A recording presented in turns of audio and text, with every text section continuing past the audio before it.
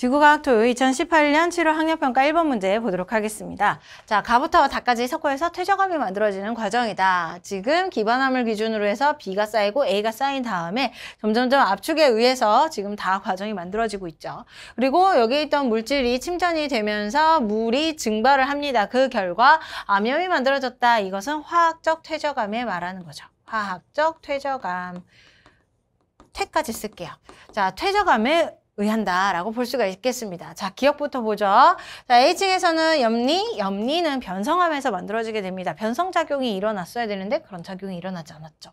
자, B층에서는 퇴적물 사이의 공극의 크기, 알갱이와 알갱이 사이의 구멍을 얘기를 하는데 그 구멍들이 누르면 누를수록 점점점 줄어들 수밖에 없겠죠. 그래서 가에서부터 다로 갈수록 줄어들게 된다.